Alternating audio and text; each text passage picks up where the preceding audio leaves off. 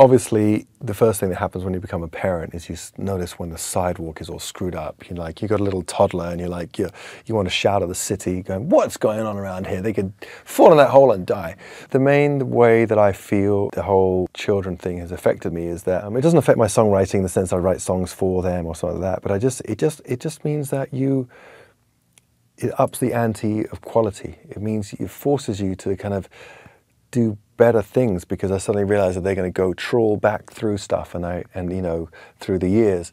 And I want them to see quality and I want them to see that I pushed every idea to the to its final conclusion and it doesn't cop out.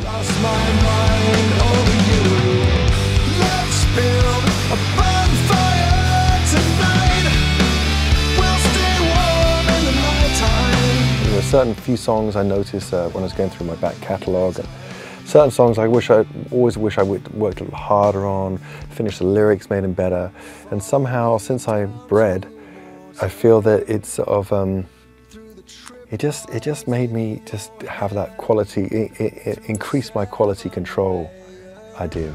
That's all. That's that's all it's done for me, which is a lot.